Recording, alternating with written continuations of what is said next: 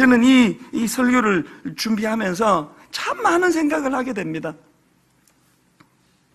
저는 지난번에도 말씀드렸지만 겨울 등산을 참 좋아하거든요.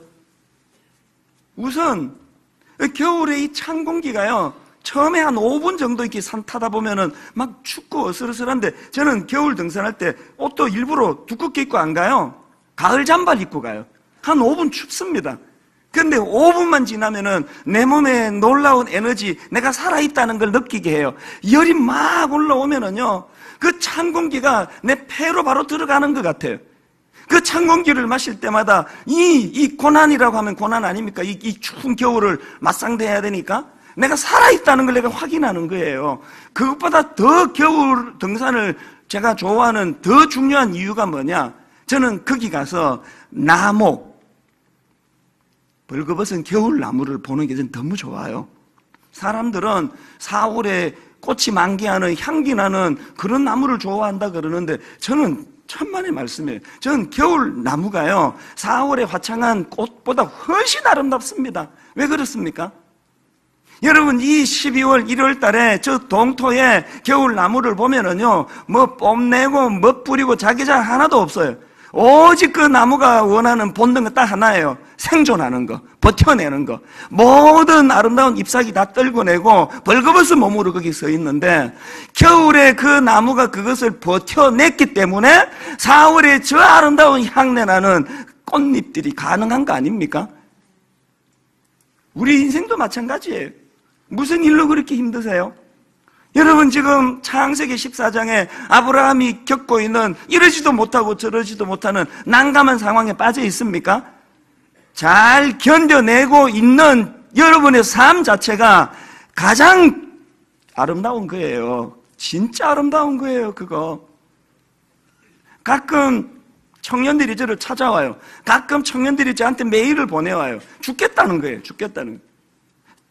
뭐, 뭐 일주일에 뭐 여러 명씩 연락을 오는데요. 최근에도 어떤 젊은이를 제가 만났는데 많은 아픔이 있었던 사람이에요.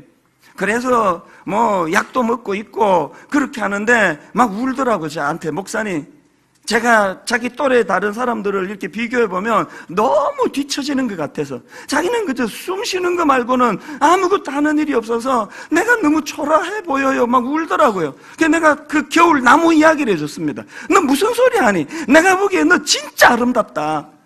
내가 보기에 너는 아름다움을 뛰어넘어서 경외심이 느껴진다. 그 어려운 삶의 과정을 이렇게 잘 버텨내고 있는 거 이상 어떻게 더 아름다울 수 있겠니?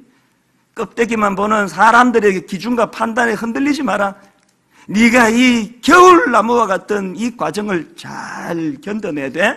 아브라함이 그랬던 것처럼 사월을 꿈꾸고 꽃이 필 봄날을 기억하면서 소망하면서 비전을 가지고 반드시 네 인생에 꽃이 필 날이 있다는 그것을 네 삶의 소망으로 삶아라. 저는요, 아브라함이 75세 때 그 하나님 주신 비전을 받아가지고 100살 때까지 25년 고통 속에 있다가 100살 때 기도 응답 받고부터 행복했다고 생각하지 않습니다. 절대 그렇게 생각하지 않아요. 저는 아브라함이요, 하나님의 비전을 받던 75세부터 계속 행복했다고 생각합니다. 왜? 비전을 가져다 주는 믿음은 환경을 보지 않고 꿈을 보기 때문이에요. 저는 이 설교를 준비하면서 또 제가 23살 때 시카고에서 고생하던 그때가 또 떠올려졌는데요. 저는 지금도요, 미국 집회하고 이제 제가 살던 시카고를 한 이틀, 3일 잠깐 이게 다녀가면 여건만 허락한다면 꼭 제가 고생할 때 살던 집을 꼭 가봐요. 그 성지처럼. 원베드룸, 205, 265불짜리 원베드룸, 100년 된 목조 건물, 삐걱삐걱삐걱, 바퀴벌레. 아침에 제가 불쑥 무슨 생각이 드느냐 하니까 그때 그 23살 시절에 265불 목조 건물에서 한 한겨울이 시카고의 겨울은요 이 상상을 초월합니다. 다미닉스라고 그 큰 식품점 가게예요. 거기 주차장에 누가 그 1인용 그 최, 그, 그 소파 같은 걸 버려놨더라고요. 그 눈길에요. 그거 소파 그 중고 눈 맞아가지고 날가 빠진 그거를 질질질질 끌고 30분 이상, 5분이면 가는 그 길을 30분 이상 질질질질 끌고 집으로 끌고 갔던 그때 생각이 나더라고요. 아, 제가 맨날 이렇게 설교하기 때문에 우리 형제들이 입장이 진짜 곤란해요. 목사님 그렇게 고생할 때 형제들은 뭐 했습니까? 이런 이야기들을 하는데요. 제가 막내인데 막내 같지가 않았습니다. 그때는 제가 막 가슴이 뜨거울 때니까요. 도와주겠다는 거 다 거절했습니다. 내가 왜 아버지도 아닌데 형제들한테 도움을 받아야 되느냐고. 제가 벌어서 학교 가고, 제가 벌어서 생계를 유지하고, 내 생애에 가장 가난했지만, 가장 고생이 많아 수시로 마음이 무너지고 절망했지만, 그러나 내 생애에 그렇게 하나님의 인도하심과 그 하나님의 인도하심으로 비전으로 가슴이 뜨거워졌던 때가 별로 없었던 것 같아요. 절망이 찾아올 때마다 우리 아버지가 교회를 사랑해서 금식 기도하다가 돌아가셨는데 어떻게 하나님 내가 이렇게 망할 수가 있겠습니까? 하나님 저 이대로 망하지 않죠? 하나님 저 이대로 무너지지 않죠? 저 다시 일어날 수 있죠?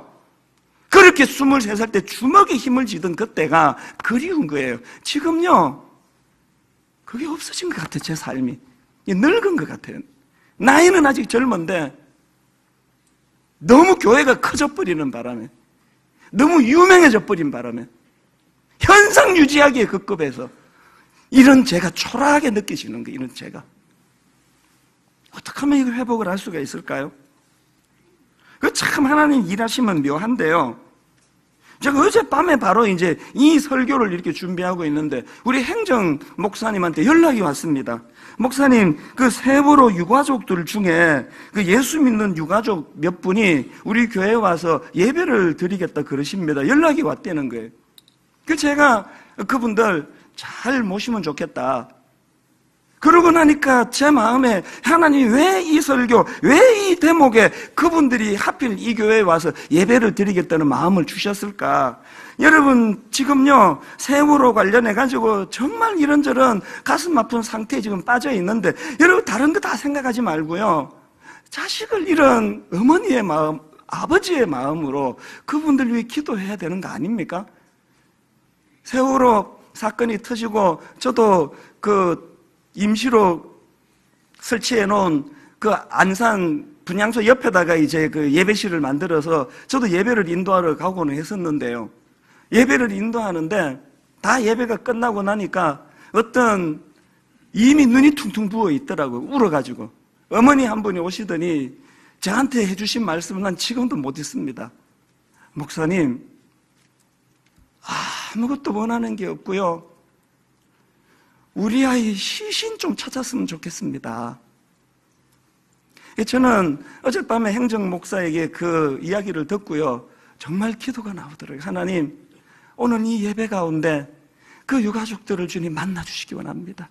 그 마음을 어루만져 주시기 바랍니다. 그래서 하나님 이 상한 마음, 이 아픈 마음이 이제 죽을 때까지 이 회복이 안 되는 고통으로 끝나지 않고 이제 다시 만날 그날을 꿈꾸고 하나님이 그에게 주신 사명을 생각하고 힘을 얻는 통로로 이 예배를 사용해 주시기 원합니다.